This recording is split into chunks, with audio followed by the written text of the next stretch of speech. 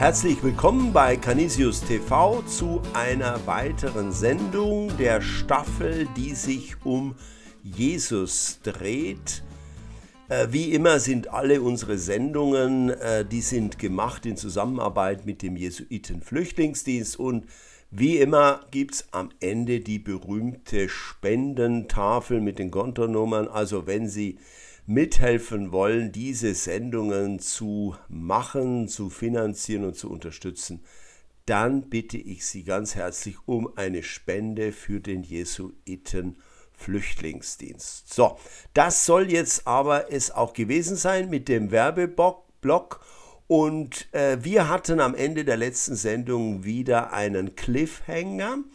Und ich fasse die letzte Folge noch einmal zusammen. Worum ging es beim letzten Mal? In der letzten Folge, da haben wir gehört, dass für die meisten äh, Menschen der letzten Jahrhunderte klar war und und auch immer noch klar ist, Jesus war so, wie die Kirche es uns berichtet. Und so wie uns die Kirche berichtet, so war und ist Jesus. Aber spätestens seit der Aufklärung kamen Zweifel auf. Ja. Ist der wahre, wirkliche und echte Jesus womöglich ganz anders? Hat die Kirche Jesus verfälscht? Hält sie den wahren Jesus unter Verschluss? An einfachen Beobachtungen entzündeten sich die Zweifel. Wie konnte der Mose seinen eigenen Tod im fünften Buch Mose beschreiben?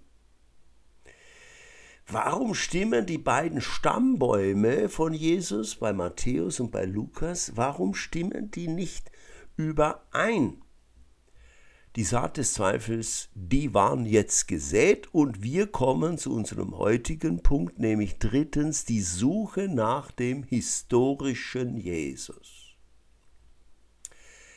Während die katholische Kirche bis ins 20. Jahrhundert hinein äh, durch ein Machtwort von oben, also durch den Papst, noch für Ruhe sorgen konnten, blühte in den evangelischen Kirchen die vor allem von ihren Gegnern sogenannte Bibelkritik. Ja, die sogenannte historisch-kritische Methode hielt Einzug in die theologische Wissenschaft und besaß schon bald eine Monopolstellung. Ja, äh, die historisch-kritische Methode besagt, wir müssen bei der Lektüre des Bibeltextes die Situation damals, also beim Verfassen der Bibeltexte, berücksichtigen. Wir können die nicht einfach jetzt so in unser Jahrhundert übertragen. Wir müssen kritisch fragen, wer hat diesen Text überhaupt verfasst? Äh, wozu hat man ihn aufgeschrieben? Wie ist er überliefert worden? Wo und wie ist er bearbeitet worden? Ich habe Ihnen hier ein Buch mitgebracht. Äh, das ist von Norbert Lofink, äh, Gerhard Lofink. Die beiden Lofink sind beides äh, Exegeseprofessoren, Bibelwissenschaftler. Der eine fürs Alte Testament, der andere fürs Neue Testament. Der eine ist ein Jesuit, der andere der Gerhard Ludwig, der ist kein Jesuit.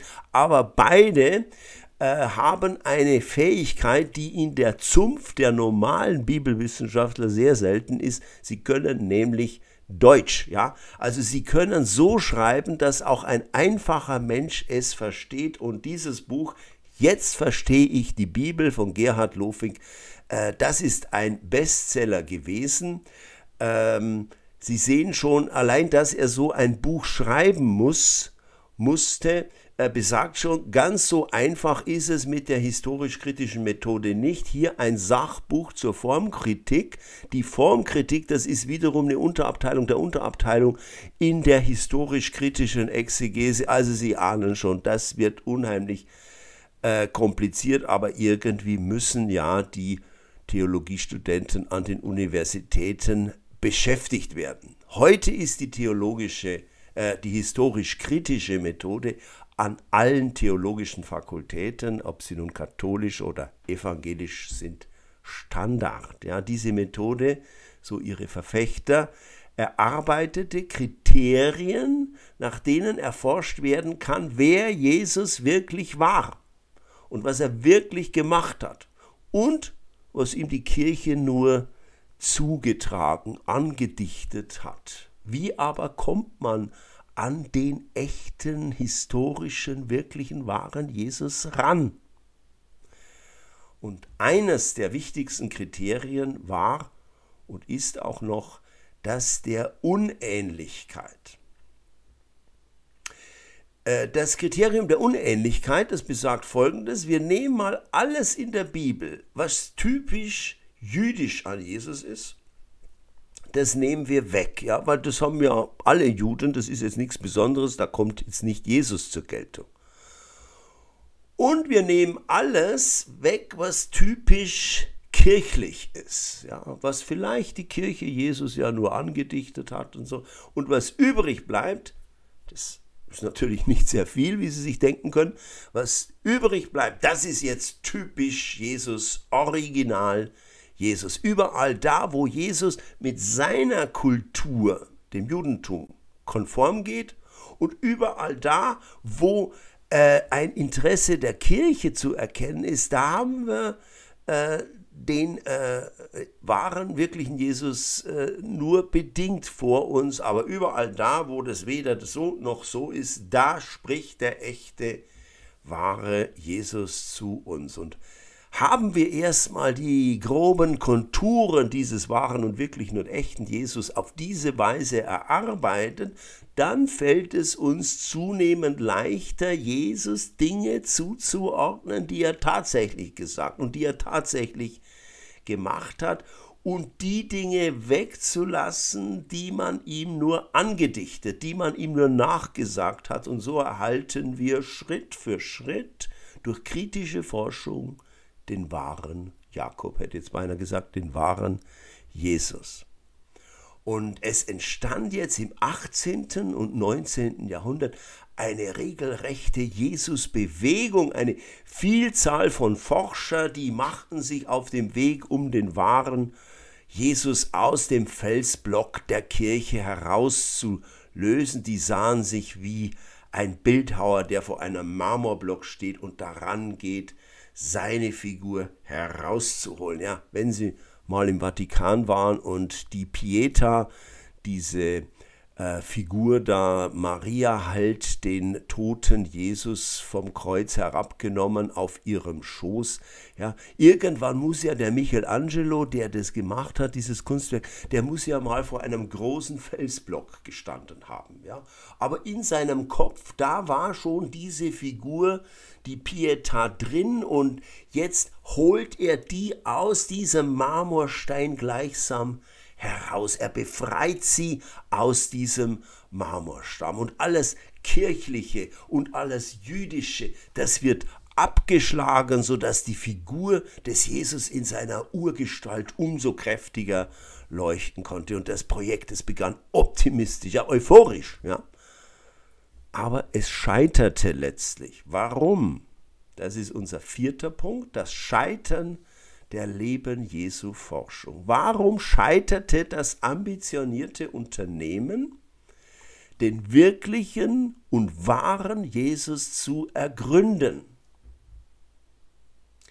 Der legendäre Arzt Albert Schweitzer hat dazu ein epochemachendes Werk geschrieben, Geschichte der Leben Jesu Forschung. Sein Fazit war freilich, sie ist gescheitert. Man kann nicht den wahren, wirklichen und echten Jesus aus dem vorhandenen Quellenmaterial herausmeißeln oder herausdestillieren. Alle, die nämlich so einen Versuch unternommen haben, die haben nur ihren je eigenen Jesus zutage gefördert. Ja, nehmen wir mal zwei Beispiele.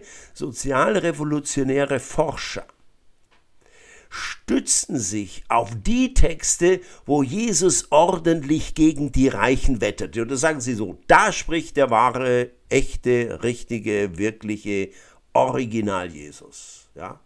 Und alles, was nicht zu diesem Jesus passte, das ist von der Kirche hinzugedichtet worden. Und heraus kam eine Art Che Guevara Jesus oder ein antiker Karl Marx, übrigens ganz ähnlich dargestellt, also mit wallendem Haar und Rauschebart. Oder zweites Beispiel, die Pazifisten und Hippies sagten, Jesus sei für den Frieden gewesen. Und überall da, wo Jesus sich für den Frieden ausspricht, da haben wir den echten, wahren, wirklichen und echten Jesus vor uns. Und überall da, wo Jesus von Zoff und Krieg und Konflikt und Streit redet, äh, da habe man es mit einer Verfälschung zu tun. Und herauskam eine Art Mahatma Gandhi, äh, Jesus oder Martin Luther King, Jesus. Ich bete, allmächtiger Gott, nur zu gern zimmern wir uns unseren eigenen Jesus zurecht, wir betonen das, was uns in den Kram passt, und verschweigen, was uns gegen den Strich geht. Bewahre uns vor einem einseitigen, zurechtgestutzten Jesus, darum bitten wir durch Christus unseren Herrn. Amen. Der Herr segne dich und die Deinen, er behüte euch, der Herr lasse sein Angesicht über euch leuchten und sei euch gnädig. Er segne euch, der Vater und der Sohn und der Heilige Geist. Amen. Ja, wie haben Sie sich Ihren Jesus zurechtgestutzt? Wie sieht er aus? Äh, was sagt er? Was sagt er immer wieder? Was sagt er vielleicht nicht oder nur selten oder nur ganz nebenbei oder nur ganz leise? Diese Gefahr, dass wir uns unseren je eigenen Jesus, äh, der, der uns äh, bestärkt in dem, was wir für gut und für richtig finden, ja, dieser Forschertrend, der steckt leider in uns allen drin. Und manchmal da lohnt es sich auf die Worte Jesu zu hören, wo dieser Jesus halt Dinge sagt, die uns gegen den Strich gehen. Ja? Dinge sagt, die, die ich so nicht sagen würde. Ja? Und manchmal, wenn man sich mit diesen Worten beschäftigt, äh, mit diesen Taten, das sind manchmal die Worte und Taten, die ein weiterbringen. Möge das auch heute bei Ihnen so sein. Tschüss, bis morgen.